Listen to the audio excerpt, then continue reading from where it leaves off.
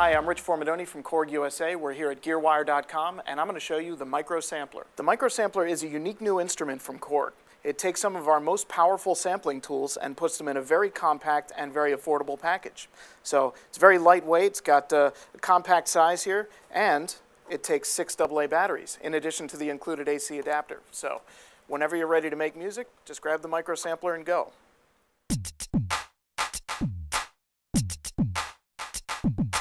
Right now I'm playing one-shot samples. A one-shot sample plays all the way through whenever you press a key. There are also loop samples. And they'll keep playing indefinitely as long as you hold down the key or when you hold down the loop button as you press one of the keys.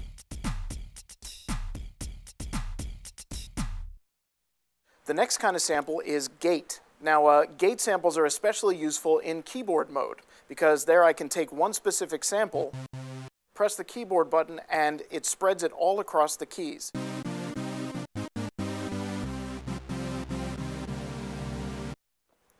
So you can play it with keys. Uh, Drum pad samplers are great because you can organize beats quickly, but you can also do that with keys, and you have the flexibility here to play lots of other different kinds of instruments. Now, the microsampler also has two unique sampling modes that, uh, that really set it apart. The first one is Auto Next, and the second one is Key Gate. So I'm briefly going to switch to a different bank here and show you how uh, Auto Next and Key Gate mode work. All right, so to show you how Auto Next works, I'm going to use resampling.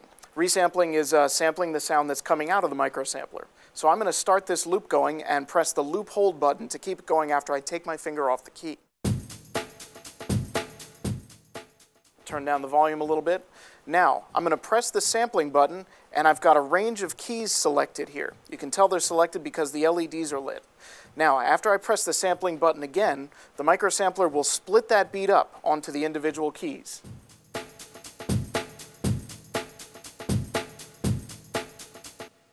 So now it's done.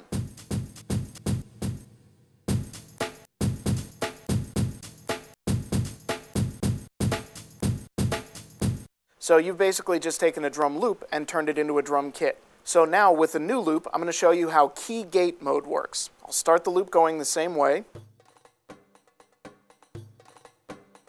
Now, I'll arm the sampler and when I press a key down, it will start recording a sample on that key. When I let go of the key, it will stop.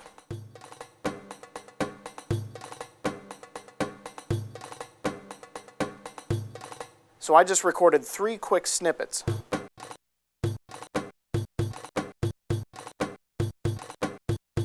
So that's a great way in live performance to grab a snippet of sound that's coming into the microsampler. You might also notice that there is a metal gooseneck microphone with an XLR connection, and this is included with the microsampler and easily lets you sample incoming audio. So now I've selected a new key for sampling, and what I'm going to do is arm the microsampler, and based on a certain volume threshold, when I clap my hands, it will record, it will start recording the instant I clap.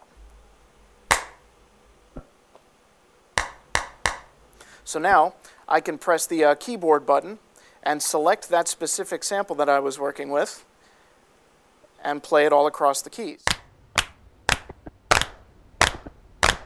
And that's great because I can then resample it and play it onto a new key. So as we're playing with some of the built-in loops, you can see that there is a sample status area right here. And this is where you can uh, zoom in on one specific sample and tell it whether you want it to be a loop sample, whether you want it to go forward or in reverse,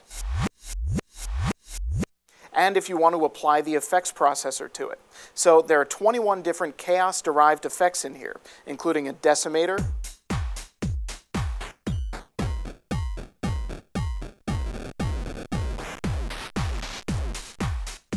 which give you a, gives you a great lo-fi kind of grunge effect.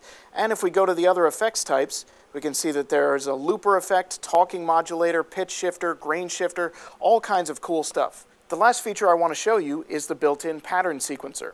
You can store 16 different patterns in the microsampler, and they can be up to 99 measures long.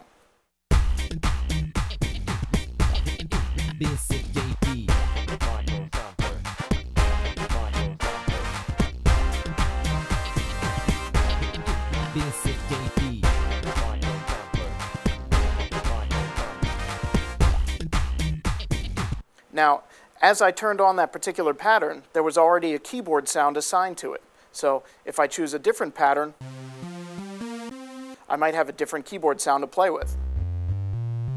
And you can specify that right from within the microsampler.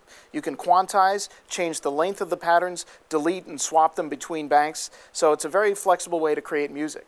Also on the back of the microsampler, there is a USB port and that gives you access to our editor software, which is really a full-featured wave editor. So you can trim, normalize, and edit the waveforms, and really create a complete bank of sounds and upload them to the microsampler whenever you're ready for a gig. So that's the microsampler. Thanks very much for checking it out.